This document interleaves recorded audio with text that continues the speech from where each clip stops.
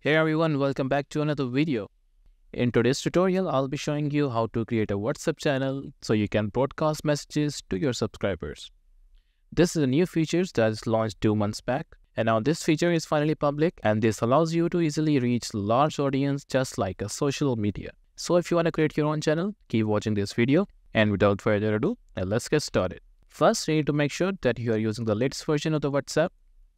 Here, just click on these three dots, go to settings, scroll down and click on help. Here, select the app info and make sure you're using the latest version of your WhatsApp. You can also check this by go to your Play Store and select the WhatsApp. If there's any update available, just install it. Now that we are here, let's create your channel. You can simply just tap on the middle, that is updates. If you scroll down, you can see all of these channels are created. You can see there's a WhatsApp channel, Mercedes, Chelsea, and other social media influencers as well. If you want to create your own channel, just simply click on this plus icon. Here, click on create channels. Once you do that, you'll see these are the information that is about the channels.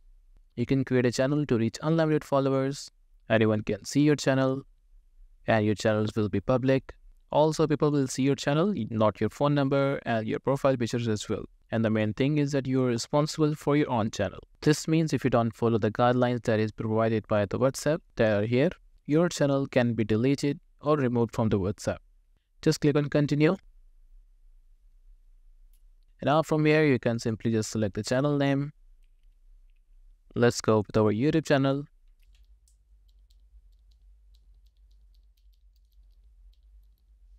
You can add the description.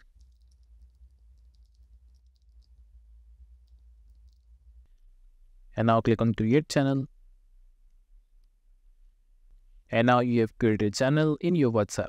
Now if you want to share your channel, you can simply just click on this. Here you can copy the link and send it to anyone else. If you want to share your WhatsApp channel to your status, you can simply just share on status. This will put the status on your private number. And now you can start broadcasting messages to your channel subscribers. Type a message and hit send to post it to your channel. And that's how easy it is to set up your own WhatsApp channel. You can use it to share announcements, content, and engage with your audience. Don't forget to share the join link so more people can subscribe.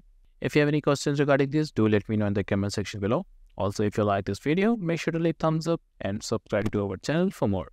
Thank you for watching. I'll see you in the next one.